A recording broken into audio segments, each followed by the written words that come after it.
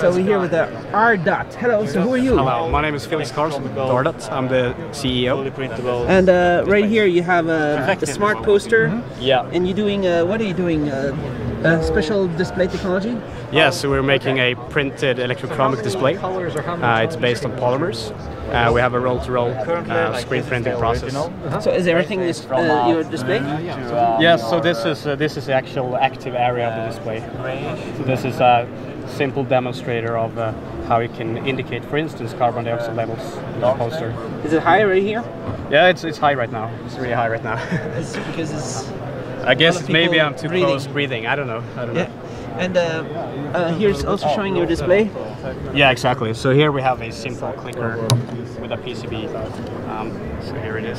Oh, there we go. Gotcha. Okay. So This is a simple counter. Uh, but then you can make them in various colors. Like we have this green, So what's special about your display? red.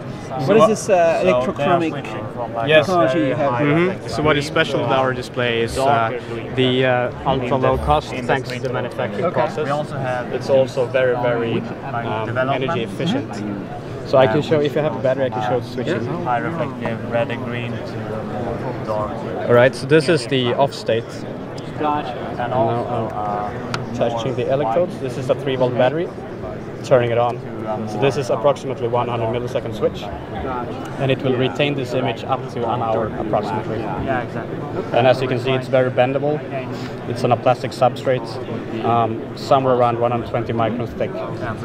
So it retains for an hour. Yeah, somewhere So it's not there. bistable. It's not fully bistable. It's uh, what we say semi-bistable. So how does it work? Around 100. Uh, it's it's a conductive polymer-based electrochromic. time. So it's uh, ions flowing in and out of the polymers, changing the optical state.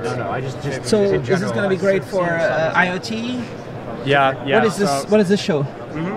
This show, it's uh, it's the uh, it's actually a watch application. So you have a watch. Yeah, I have a watch. It's a little bit. Uh, Nice. So what, what does this will do? This watch? Does it show the real time? so yeah, it shows the real time. So what we're showing here is actually that we can uh, assemble um, the electronics straight on the display substrate. So this is the the watch. So we have all the electronics on this on the uh, display. So we call it system on display. What's the electronics you have there?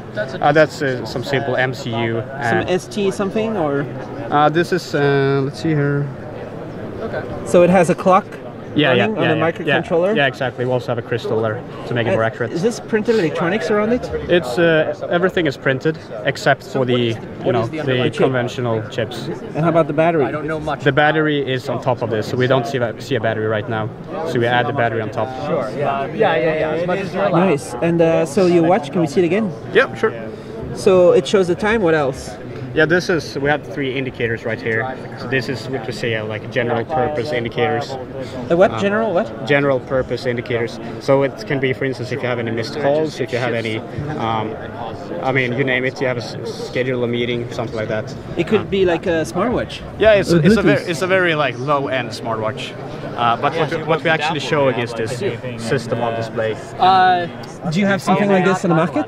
Uh, we don't we don't have anything on the market right now. We're a little bit pre-production stage. Where are you based? Uh, we're based in Sweden. And uh, how soon? How soon? How Um, soon is all this in the market? Yes, so we do have a large sca- scale manufacturing partner, so we can reach the market. We can go to millions of units, uh, probably within six months. So what if somebody makes an order? Yeah. And uh, here you're showing the smartwatch too. Light reflective. So this is a smartwatch Comparing it with an that's fully printed. Yeah, Yep, yep. So I just need to clarify It's a clarify little bit like magic, but it's not. Is, uh, is it like a segmented display? It is a segmented display. So we don't we don't sell the smartwatch. We sell the display. Just because of the So, low. but you have different. Is it all segmented? Yeah, it is. It is. And I can also show that we have some colors, Like a so we can switch uh, the colors here. yeah. Um, so this is the bright red. This is bright red. That is something that went uh, Sure. And So let's here's see here. a, can you go from clear to opaque? Switching to black. clear, All right. The whole screen switched, right? Yes, the entire screen. Maybe fully And transparent. I can go back to Can you go from some level of transparency can go yeah, back to bright. to some kind of opaque? Nice. It's really bright. Yeah. So we can do this in really large areas. Not not at the moment. So- Here we have some bigger structures. straps. we are working on it. Okay. And they're also moldable. It'd be very interesting to hear if you can do. We can mold them. Exactly. So if you have a device with a certain bend radius, we can pre pre mold them if needed. this is uh, Perfect. And uh, are you able to do like uh, architecture? a Huge? of- Yeah. Yeah, yeah, definitely. So we, I mean, th- that's actually the first purpose why we made these tiles. Yeah. So we can make these tiles and we can connect them together and we can make a huge display. But yeah. uh, what's the then we can price? see how far. Uh, it's it's a very low cost. having, It really depends some- on the Yes, application and what kind of features you want. Um, Like, are we talking cents? we're talking cents. Yeah. Cents. per per square centimeter. Nice. And uh, do you have more over here? What is this demo here? Yep. So this is kind of a ball pen blue. Um, this is a blue. Switching to. Oops. I think we have some connectivity issues. It's not connecting properly, but it's switching to white. Okay. It should switch faster? Or? Yeah, it should switch faster.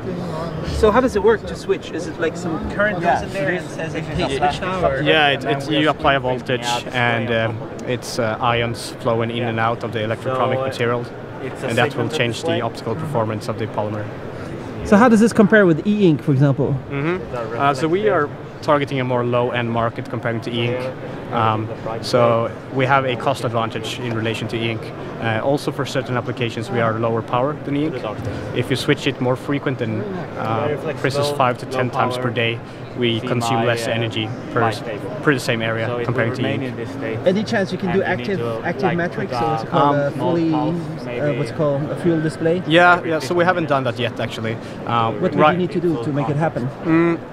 Yeah, we need to pixelize it. Um, so the limitation right now is uh, in terms of resolution. Uh, right now we're making a little bit, uh, you know, Yeah. uh, segmented. It's not high resolution displays. So we're targeting uh, more low end markets with this one. Do you have any questions? Um, is, is, is this uh, shelf labels? What, what yes, they, they can be used for shelf labels. Um, they can also be used for packaging, um, for instance, IoT and sensor applications. So more or less, wherever you need a uh, very very low cost, very very low power uh, solution, this is the perfect fit.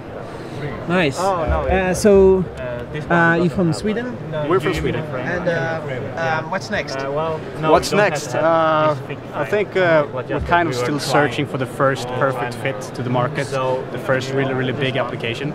We'll have a lot of um, uh, custom designs with custom designs um, projects with customers. There's a much Uh, the next step is to reach large scale manufacturing. and it could probably